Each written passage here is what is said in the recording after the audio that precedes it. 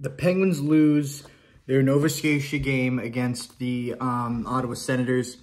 We were technically the home team for the uh, game. There were a lot of Pens fans in attendance. Um, I was not, but that was an awesome game. I mean, must have sucked to be there, though, because the Penguins didn't play very well, but they're gelling. They got to go on a massive vacation together as a team.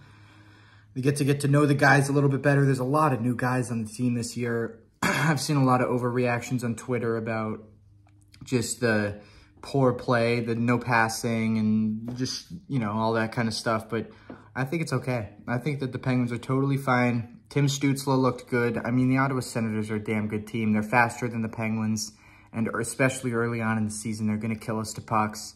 Um, but, I mean, Vinny Hinostroza, he looked, he was the only player that looked pretty good. He was fast, skating to pucks, making good passes. Um, Erik Karlsson looked good, but he just didn't, you know, no scoring. There was no offense, so hope the Penguins get back onto the offensive track in the next preseason game. Let's go Pens.